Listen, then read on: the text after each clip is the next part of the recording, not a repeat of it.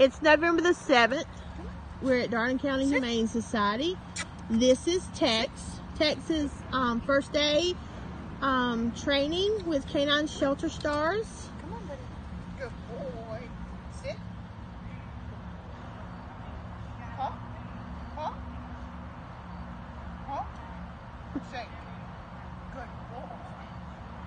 Good boy. Oh, you gonna give me a second meter, girl? Come on. Come on. Hey, um, sit.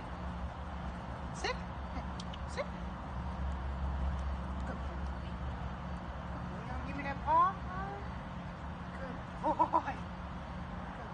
Texas is in need of adoption or rescue. If you can help us with this, let us know.